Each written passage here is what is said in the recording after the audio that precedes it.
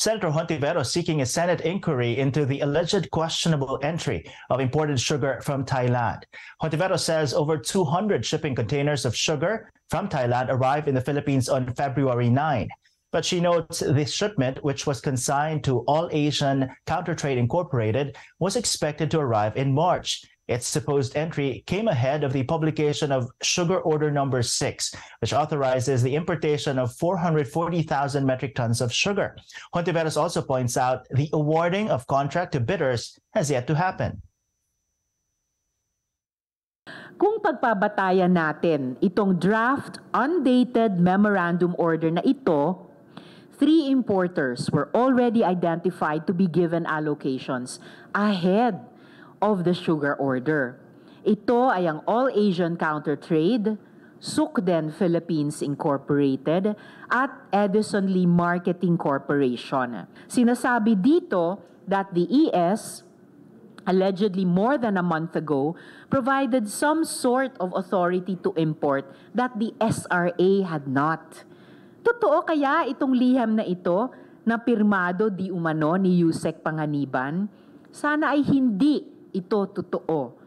If it were genuine, marami ang kailangang linawin ng pinaka matataas na opisyal sa DA at sa Malacanang na kapwa kanang kamay ng presidente. Oliveros filed a Senate resolution calling for a probe into the sugar order number 6. As the Philippines officially participating in the world's biggest trade agreement, on Tuesday, the Senate ratified the Regional Comprehensive Economic Partnership, with 20 senators voting in favor of the deal. Senate President Juan Miguel Zubiri believes our RCEP will help various local industries become more competitive. The Philippines is the last among the ASEAN and five partner countries to concur in its ratification. The Marcos administration has backed RCEP for its economic benefits.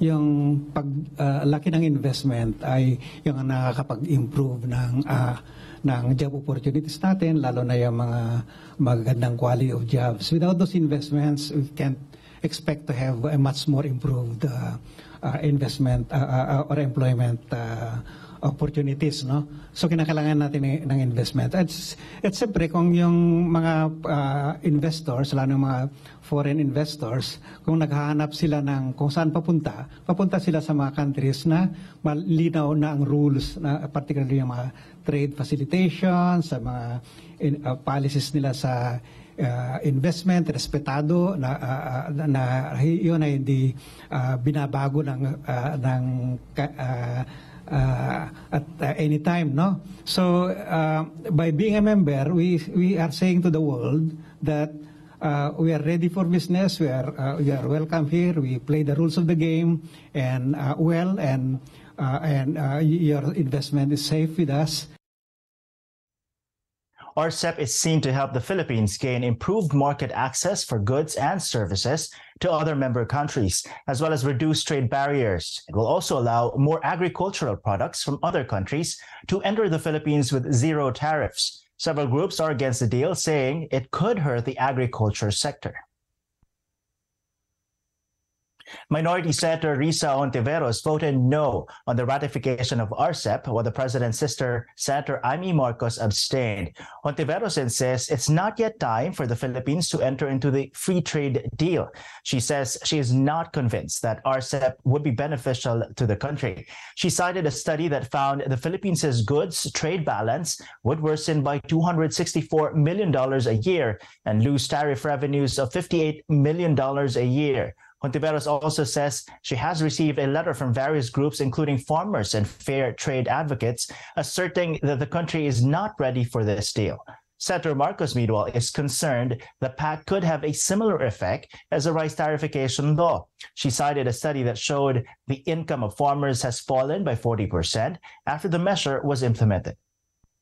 Philippine senators are set to discuss the country's human rights situation with a visiting delegation of European parliamentarians. The meeting will be held amid moves in the Senate to formalize its opposition to the probe of the International Criminal Court of the Duterte administration's bloody drug war.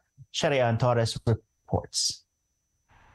Six members of the European Parliament Subcommittee on Human Rights will meet with Philippine senators on Wednesday to discuss the human rights situation in the Philippines. Senator Francis Tolentino says the EU parliamentarian sought the meeting with the Philippine Senate.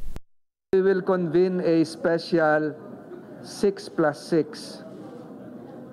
6 plus 6 would entail a dialogue coming from the Senate Committee on Justice and Human Rights with six members of the Senate Committee on Human Rights. I think uh, it has something to do with everything about human rights. I think they're hearing the resolutions concerning ICC. Lahat na yon siguro. The senator says they will issue a joint statement after the meeting. These comes as two resolutions have been filed at the upper chamber opposing the International Criminal Court's investigation on the bloody drug war of former President Rodrigo Duterte. These were filed by Duterte's allies, Senators Robin Padilla and Jinggoy Estrada, who penned Resolution 488 and Resolution 492 respectively. Padilla explains he filed the resolution not just to defend Duterte but the country's sovereignty as well.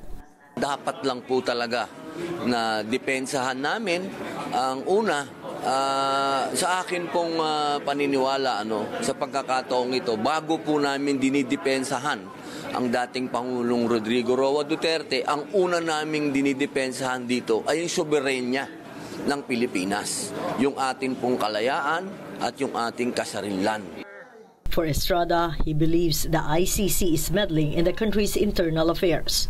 The ICC is inter- interfering with our internal affairs. They, they do not have any right to interfere whatsoever in our uh, internal affairs.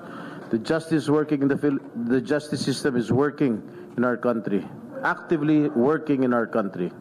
Duterte's longtime aide and now Senator Christopher Go says he's willing to co-sponsor the resolution. He insists Filipinos should be the ones to judge the Duterte administration's war against drugs and not foreigners. This was echoed by Senator Francis Tolentino, who maintains the ICC has no jurisdiction over the Philippines. We're not part of the Rome Statute.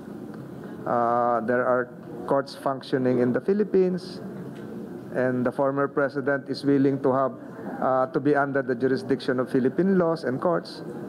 So yun ang, i- i- ako, ako na maglalabas ng bukas para hindi na sila. I will uh, just manifest on the floor to co-author.